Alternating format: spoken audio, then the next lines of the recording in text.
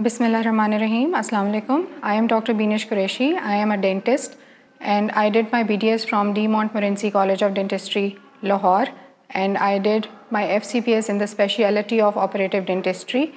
And I am working in uh, Islamabad Medical and Dental College as associate professor in the Department of Operative Dentistry since 10 years.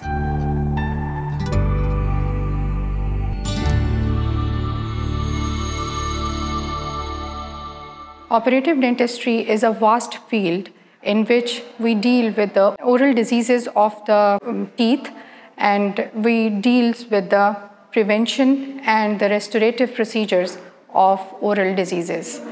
It involves uh, aesthetic dentistry as well as the different uh, prosthetic procedures and pediatric dentistry. We teach students of BDS in the second, third, and final year. And we not only teach them, we also demonstrate them different operative procedures and they also deal with the patients in the department. IMDC is an experience you will enjoy.